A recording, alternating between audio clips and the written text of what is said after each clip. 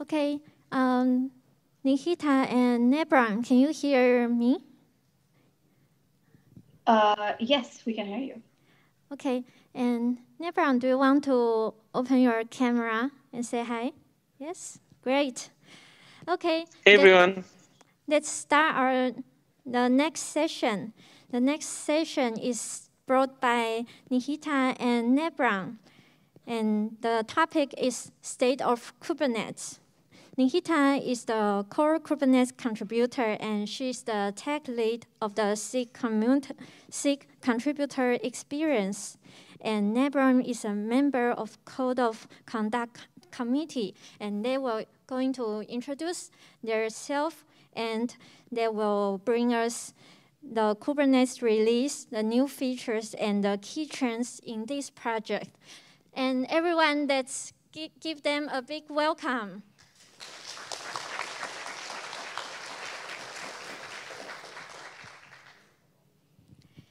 Okay, then and say hi to everyone.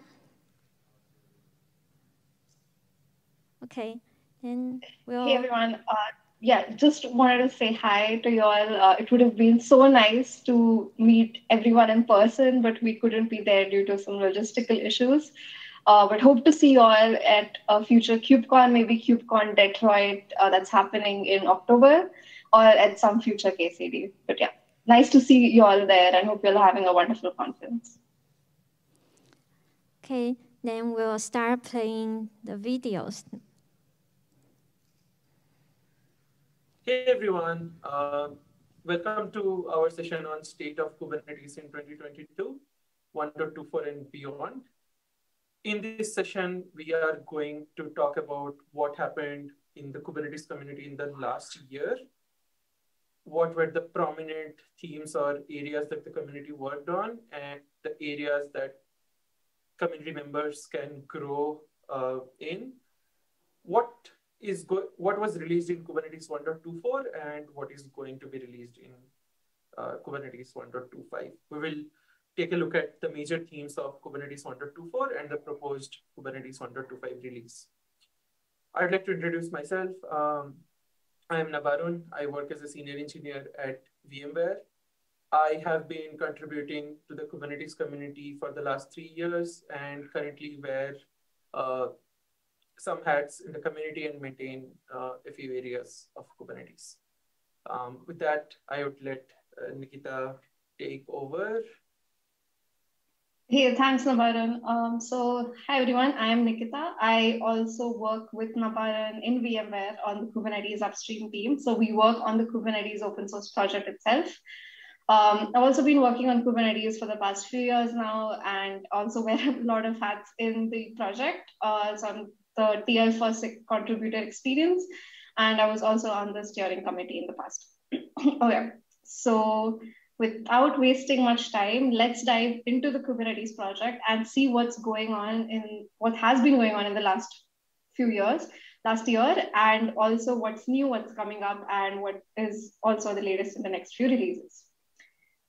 Uh, so we've had a bunch of achievements over the last year. So one thing that we've been focusing on has been feature maturity and stability. If you heard of this phrase that Kubernetes has been becoming boring, it is primarily due to this. So a lot of Kubernetes SIGs or special interest groups are continuing to drive long-standing beta features to graduate to stable. Uh, you might have also seen some examples already. So IPv4, IPv6 dual stack uh, graduated to stable in 1.23. Even generic ephemeral inline volumes also graduated to stable in 1.23. So you'll be you you might have already seen this kind of trend before, and you will see this trend going forward, even in 1.24, 1.25, and beyond. Uh, the other thing has been that we've been trying to grow our contributor base and have folks move up the contributor ladder. Now, the contributor ladder is basically the ladder or uh, the steps that you go through as you make progress in the Kubernetes project. For example, you start out with being a member of the Kubernetes project, so you get added to the GitHub organization, and then slowly, as you're contributing more and reviewing code, you moved up, you get moved up to the reviewer uh, phase, and then finally an approval phase, and then you finally lead a particular component or a sub-project in a SIG or a special interest group. Now, uh, while many may think that contribute, like climbing through this contributor ladder might only be related to skills, it is not really so. So climbing the contributor ladder is a trust building exercise as much as it is a skill one. And how can you grow from like across this ladder by sticking around, chopping wood and carrying water. So doing the thankless work, uh, like it could be as simple as writing more documentation, answering more questions on Slack and so on. That is the main formula for growing leaders in the project and how you can grow up the contributor ladder. Now, we've been taking intentional measures to have people move up this ladder. So, an example of an intentional contributor ladder growth effort happened in SIG Docs uh, because they ended up growing their reviewer and contributor base in 2021. How did they do this? They introduced a shadow program for pull request wrangling and they dedicated more time in the SIG Docs Slack channel, helping grow the community. Now, SIG Docs, not only this, so like SIG Docs, they've also worked on a leadership transition strategy to bring more community members into leadership roles via specialized six month group mentorship program. So, Kubernetes has a bunch of these mentorship programs and shadow programs that you can participate in to move up the ladder, be it from member to reviewers or reviewers to leaders. So they were able to cultivate leaders for the SIG and some of its subgroups, even adding new chairs and technical leads. Now, uh, Kubernetes security has been a huge, huge topic, even in the last few KubeCons and KCDs in, across the world. Now, every group in Kubernetes has a responsibility to make sure that we're putting our best foot forward with supply chain security. And there are three SIGs that have been doing amazing work here. So SIG release, uh, SIG auth, and SIG security in particular, they worked hand in glove. They worked together to drive sustained efforts in this area. And what have they been doing? So they've been doing everything from artifact signing, uh, compliance with SLA standards, and improving end user security documentation. So if you and like if you if the security documentation has helped you in some way, or if you think you want to improve it, please reach out to SIG Security. And you've got these three SIGs to thank for for keeping Kubernetes secure. Now, there are also plenty of processes, tools, and policies that get added in a project's lifecycle, and also that need to be phased out for whatever reason. So one contributor pain point that we've had has been Bazel, and if you worked with it before, you know how annoying it is to just get something running with Bazel. So the crews and SIG testing and SIG release, they've put in a lot of time and attention on removing Bazel from core Kubernetes completely. So it no longer exists in core Kubernetes. And uh, we've been trying to remove a lot of other processes and tools that basically no longer Spark join. And finally, SIG Windows. So they've been doing amazing progress in growing Windows support in the ecosystem with their efforts like defining operational readiness standards for Windows. Now we saw some of the achievements that the Kubernetes project has had over the last year. There are also some themes and trends that we're seeing in the community, in the project with these achievements and what we've been doing, what we're planning to do in the future. So one thing that you might have seen already is that there has been an increase in regression related backports in the last few releases. And this has been happening due to a variety of reasons, but we've narrowed it down uh, to a couple of main, cha main changes. So one is that uh, there are a lot of areas in Kubernetes that are just way too complex or way too under tested. Uh, and if someone creates a pull request to add features or fix unrelated bugs in these areas, they sometimes end up creating regressions.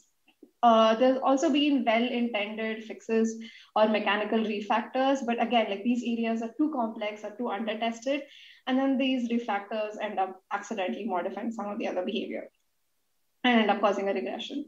So to fix these problems, we are doing two things. So we are tracking health of the existing components, understanding, okay, these areas are too complex, these areas need more reviewers or more tests. And we're also developing specific test plans for each component. So we're prioritizing quality and ensuring, uh, we're looking to ensure that we have a decrease or we basically don't have regression related backports in the next few releases. Uh, we're also trying to grow the independent contributor base by connecting folks to jobs. So if you go to the CNCF jobs website or cncf.jobs.io, the job listings there also indicates a percentage of time that the employers would uh, support for upstream activities. For example, if I was posting a job posting on cncf.jobs.io, I would include in the job posting whether you, as an employer, are allowed to work, uh, say, 50% of your time upstream or 20% of your time upstream.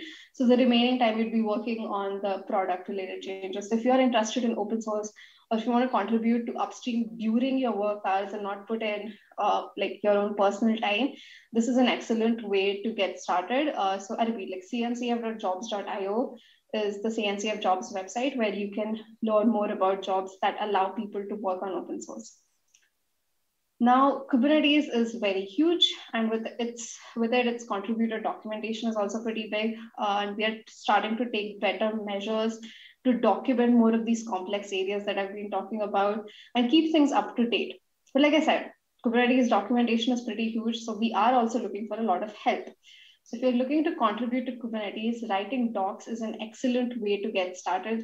So please consider contributing to documentation, both end user and also contributor documentation. And finally, burnout uh, it has become an industry-wide problem now. I have faced burnout. I'm sure Nabarun can also like talk about him facing burnout, but we need to solve it together, right? There have been a lot of contributors who have left the project because of burnout too, and there are a mix of reasons why contributors are burning out altogether.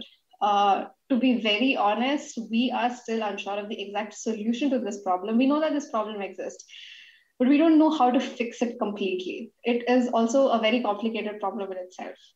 Uh, but what we are doing at least is we're constantly talking about it. So we're keeping the doors open for other contributors to have discussions with us. So if you are facing burnout, or if you think you might be facing burnout, or you're not sure if it is really burnout or something else, please even consider reaching out to SIG leads or sub-project leads, uh, the steering committee, and so on, just to talk things through, and we're more than happy to talk about it anytime. Now, let us also look at some of the growth areas that we have identified. Uh, so what is the project doing to fix some of these problems that we've talked about now? Uh, so one thing that we're trying to, uh, the steering committee in particular is trying to do is define project health. So, what does project health mean anyway? When you have some SIGs which have industry wide, uh, like open source veterans, and since they're veterans, they know how things work and they can quickly area, identify areas or components that need help or that need fixing. And they can even tell stories about what's flourishing. But Kubernetes is a very big project. It is a very diverse project, which means that people, different people have different experience levels. So we need to develop a standard way to establish universal indicators of project health. And this is something that is top of mind of the steering committee to understand or define what project health is. And once we define that, we can find solutions and ways to mitigate the problems too. Uh, the next thing has been reviewers. I can talk on and on about this. Uh, also, like if you've been watching open source news over the last year, supply chain security has made headlines. Uh, and according to even OpenSSF and other security groups, uh, code reviews are an important piece to putting prioritization on security. It is a very, very important factor, and we cannot let it just go like that. So we need more reviewers. But like I've been saying, that contributors have been facing burnout and they've also been leaving the project.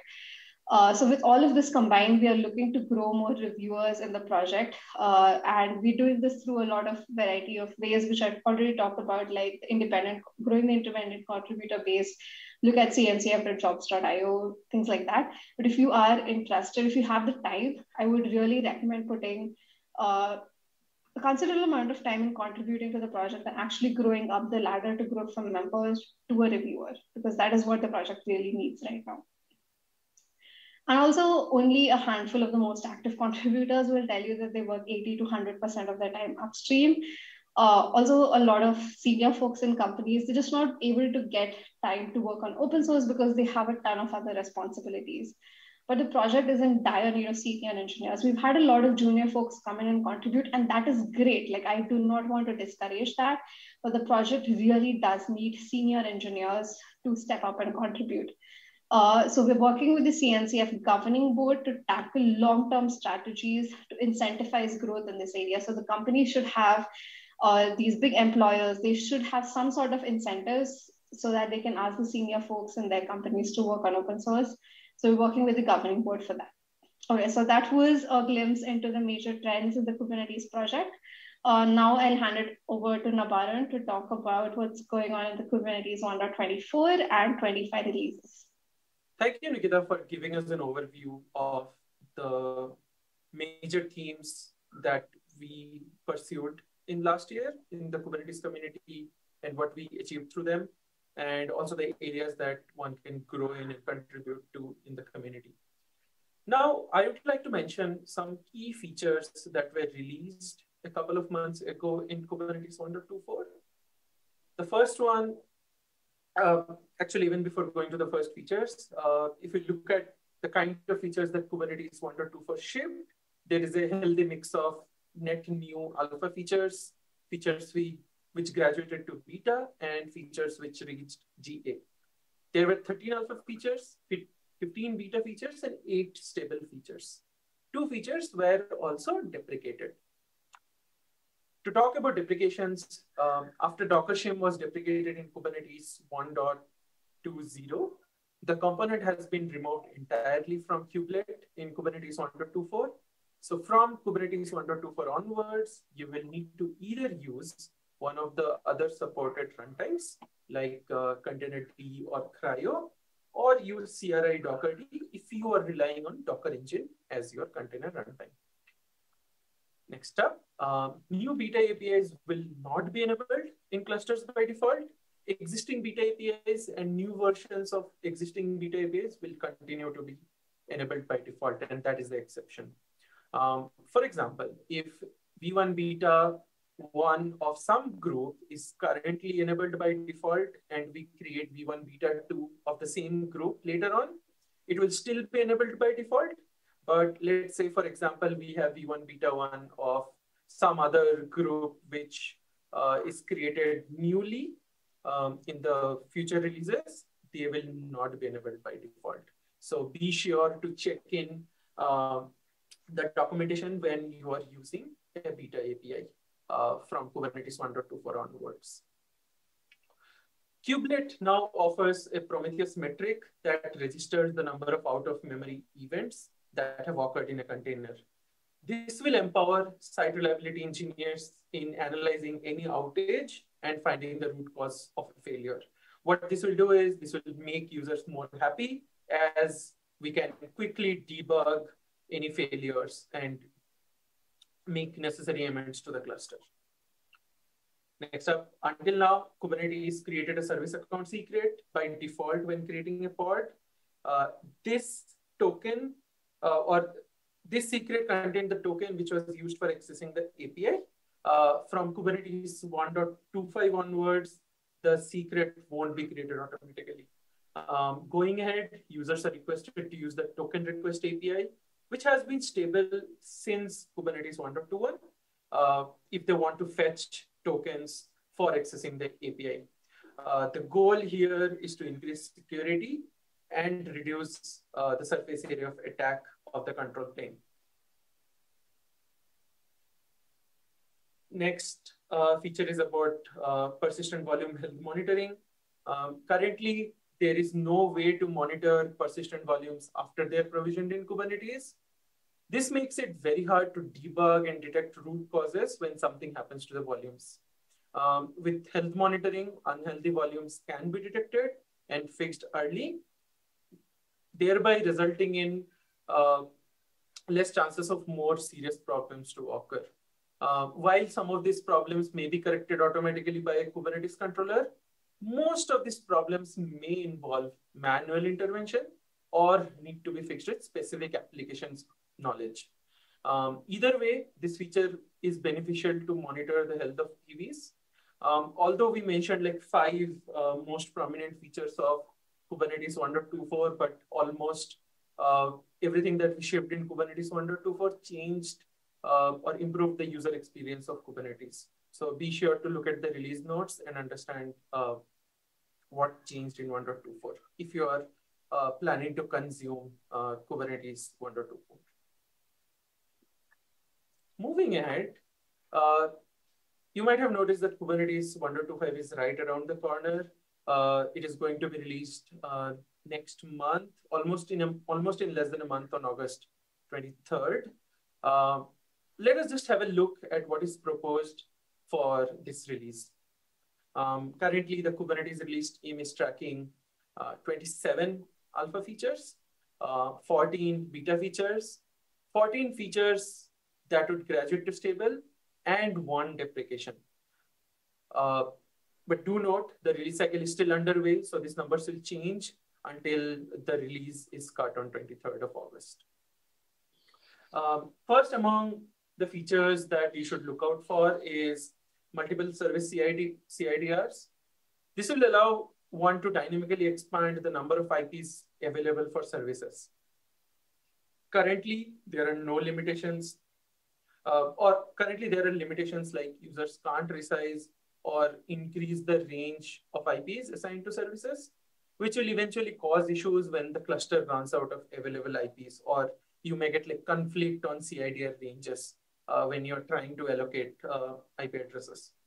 The goal here is to implement a new allocation logic for service IPs, but the new implementation would be in such a way that it has to scale well, and it should also be backwards compatible with the current uh, logic. Uh, next up, liveness probes currently use uh, the termination grace period second set at top level on both normal shutdown and when probes fail. Uh, so what happens is if a long termination period is set by the user and a liveness probe fails, the workload will not be promptly restarted because it will still wait for the full termination period, which you uh, might have set to a really long duration. Um, what this feature enables is it adds a new field to the probes definition itself, which when set will override the uh, timeout set at the pod level um, for liveness and startup probes. But this will be ignored for readiness probes. Uh, the current behavior is still maintained if desired, but it also provides a new way of configuration to address the unintended behavior. Um, we also have a really cool change on the instrumentation side of things. Um, if you look at how you gather statistics about containers and pods, there are currently two main APIs, uh, the summary API and the metric cAdvisor endpoint. The kubelet currently is responsible for implementing the summary API and cAdvisor is responsible for fulfilling the metrics cAdvisor endpoint. Um, the CRI API currently doesn't provide enough metrics to fully supply all the fields for either endpoint. Uh, but is used to fill some of the fields of the summary API. What this results in is an unclear origin of metrics and duplication of work done by cAdvisor and CRI both. It may eventually lead to performance implications, which is not really what we want.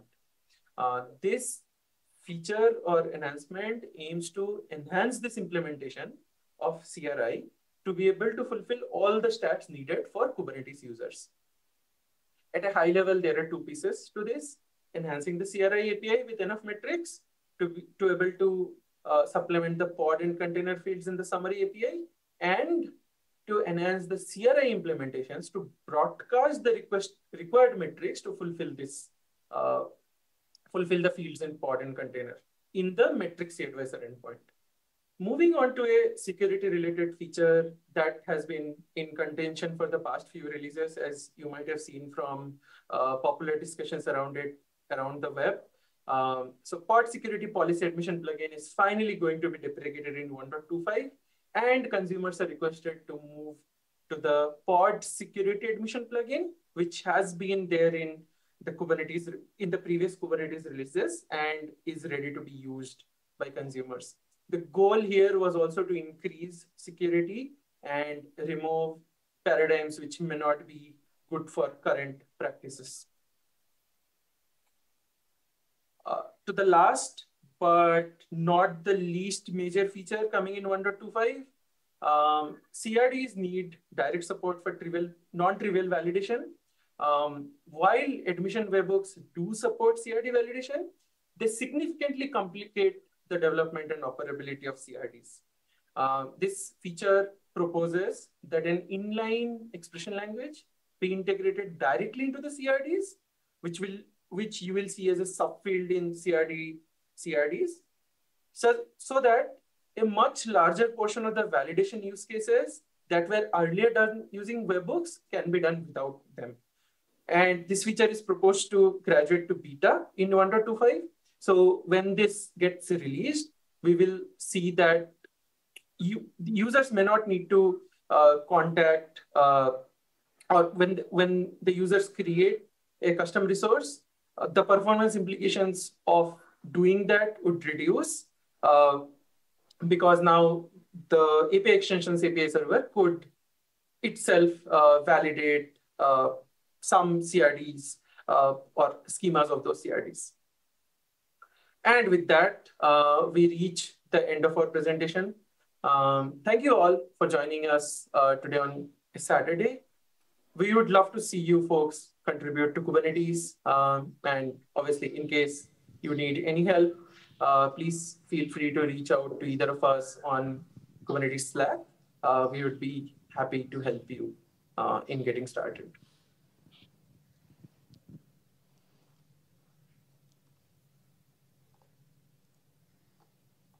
Okay, thank you for Nikita and Nebran's sharing. Okay, let's go to the Q&A session. Is there anyone have questions want to ask? You can raise your hand.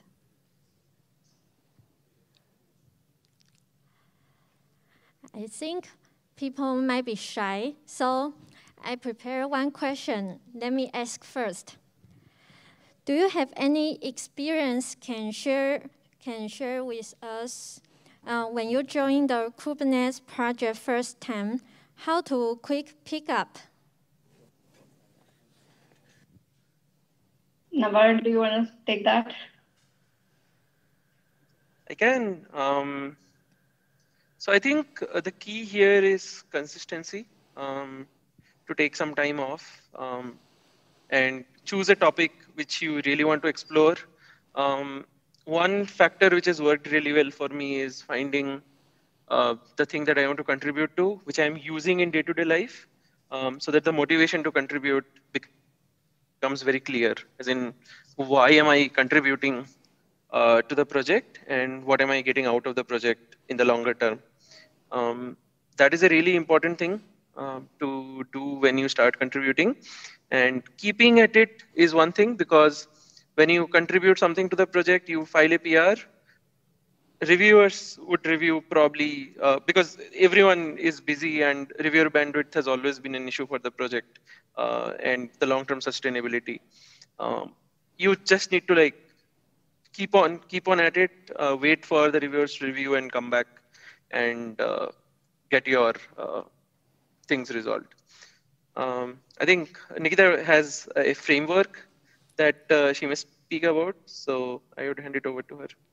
Uh, yeah, it's not a formal framework. The idea that so I usually suggest others if you are if you want to contribute to Kubernetes and you have your day job where you are not paid to work on open source, I usually suggest a four hours framework. Uh, so four hours per week you spend on open source the way you, to do this is uh, i think like one hour uh, you spend on attending the sig meeting so each special interest group owns a particular component or area in kubernetes. For example SIG CLI owns kubectl. So if you want to contribute to kubectl you would uh, look at the SIG CLI meetings. Uh, then 30 minutes you spend on just going through slack. You don't have to talk if you're not comfortable actually writing on slack or even and the next 30 minutes also you just spend going through the mailing list. Again you don't have to the one thing that i think like a lot of people get scared about is hey if i attend a meeting do i actually have to talk in that meeting that is not true i was very scared when i joined the project uh, and i was feeling very shy and i was not comfortable speaking up at that time so i used to just attend those meetings you can lurk around um, see what other people have to say, who is who, what they're working on, and so on. So I would say one hour spent on meetings, 30 minutes you spend on just on Slack, another 30 minutes you spend on mailing lists. What are the main announcements and topics that people are talking about? Uh, and the rest two hours you spend on heads down time. So actually writing code or documentation or whatever it is that you're working on and reviewing uh, people's pull requests. So I usually suggest this four hour framework and it has worked out well for people. Uh, so they did start out in the project that way just by working four hours per week on open source and now they are leaders in the project. Uh, the other few things that I would also suggest is like, don't be scared starting out because initially when you join a slack channel or a mailing list you will see lots of messages lots of people talk th- talking about things that you have not heard about or you don't know how it works. Uh, but that is fine. So just stick around. There is a learning curve. So it will take you some time to get to a, a you are comfortable contributor but stick around uh, and take it easy and light and it'll be fine Okay, thank you. And is there any questions? Don't be shy. they are so nice, right? Anyone? Uh, okay, if there are questions, it's fine. Uh, I just wanted to call out one other thing that uh, there is a KubeCon happening in Detroit, North America uh, in October. The diversity scholarship for that is open, so please consider applying to it if you want to attend in person. Uh, as for the diversity scholarship, Linux Foundation or the CNCF, the Cloud Native Computing Foundation, will pay for all your travel and accommodation, and you can get to attend KubeCon in person. Hopefully, we'll both be there, so it'd be nice to meet uh, in person too. Okay. Uh, hello, can you hear me? Yes. Okay, thank you for your fascinating uh, sharing. Uh, I want to extend the questions uh, by the house. Uh, there are two questions, and one for more professional one, and one for more casual ones. So for the professional questions, do you have any um, imaginations or um, uh, yeah, I mean, imagination for um, our we Kubernetes users that we, we could um, cope with and we could make use of? Uh, your uh, blueprint for Kubernetes uh, development. because we have, I think, we have Kubernetes um, applications in our real production environments, and we have um, been benefited by this uh, fascinating technology and very thanks to your uh, all you all for these contributions. But we still can feel that there are very very much things we can do in uh, Kubernetes development. Do you have any suggestions that we Kubernetes user would like to um, you uh, to uh, to follow up? with your um, developments. This, this is for the professional questions. And for the casual ones, do you have any uh, other experience uh, to share with when you join uh, the contribution of Kubernetes. Do you have any stories that make you very um, make you very uh, how to say that? Imp uh, have very important impression and make you uh, very uh, to stay to stay with this Kubernetes contribution that uh, heavy things or sad things or obstacles, maybe. Uh, if you have these stories, I would like to, uh, I'm happy to uh, listen. Thank you. Um, so if I understood the first question right, it is about, uh, so like, is it that you, do you have suggestions in Kubernetes and how, like how to make it easier? Or what are the things that we are working on right now in Kubernetes to make it better? Uh, I'll answer both of them. Uh, if, okay. Oh, okay. Um, you could share anything you want to uh, talk about, and I will prefer the last one, so uh, we Kubernetes user could make the users better. But uh, I don't. Uh, but you can say anything you would like to share, and I, I, am free to your sharing. Thank you. Okay. Uh, so I mainly work on the API side of things, so the, what we call SIG API machinery. So I uh, been working on how to make CRDs better and how to improve the versioning. So like there is no way to uh, mention a deprecated field in CRD. So that's another KEP that we're working towards. So we're basically uh, working towards fixing a lot of uh, what we call paper cuts in Kubernetes, essentially uh, how to make the user experience better. So there might have been times when you got a really cryptic error message, or just things wouldn't work the like, way you expected them to. And Kubernetes is a complex system, so we're trying to make it better that way. Uh, there are also some big ticket items that we are still in the discussion phase. For example, etcd, right? So uh, Kubernetes is tied to etcd right now, but what would happen if we move away from etcd? So we haven't started too many formal discussions yet, but there have been conversations in SIG API machinery around uh, what happens if we remove etcd, what other alternatives to etcd can we consider. Uh, for example, Red Hat, in not in the Kubernetes project, but in their own uh, KCP project, they started uh, experimenting. It's all open source. So they started experimenting with replacing etcd with Cockroach DB and then we've been discussing about, okay, do we really want to replace etcd with another opinionated approach of cockroach DB? And instead, can we make this pluggable uh, and like make sure that any other database can be used here? So these are just discussions that are going on that will eventually help make uh, Kubernetes more scalable and more uh, beneficial to the user. So that's kind of what we are mainly looking at. Um, do you want to add something here? I would like to add uh, things that we are doing in SIG release uh, in terms of security and making our software uh, pipelines more secure. Um, so in the past one year in the community, we have been implementing the SLSA framework.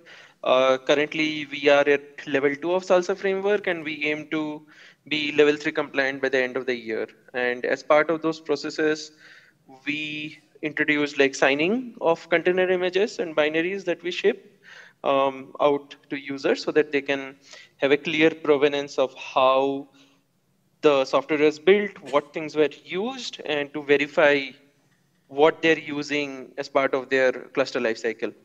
Um, apart from that, a lot of the improvements has gone into stability in the past one year, uh, so as to make sure that customers who are using Kubernetes get a clear, concise, and uh, good code quality product. Um, and we have achieved a lot in those areas, and we have sorted out conformance testing for a lot of new features. And uh, the the conformance project has been working for the past two years to introduce like more uh, feasible and streamlined ways uh, to do conformance testing, and we have increased the coverage by a lot uh, in the past year. So all of these things like make uh, Kubernetes to be more usable and more sustainable from an user point of view, both for uh, like vendors vendors who ship Kubernetes as part of their product, or for end users who would like to use vanilla Kubernetes and uh, create clusters on their own. Thank okay, you. thank you. Uh, due to the time, we, we cannot take more, any more questions, but um, they already put their notes on the HackMD. So everyone, if you want to check the HackMD, you can see their notes. And also, if you have further questions, maybe you can write down on the HackMD or you just send, send them emails. Yes, thank you, thank you again. And yeah, thank It's our honor to have you in COSCUP. Thank you. Bye-bye.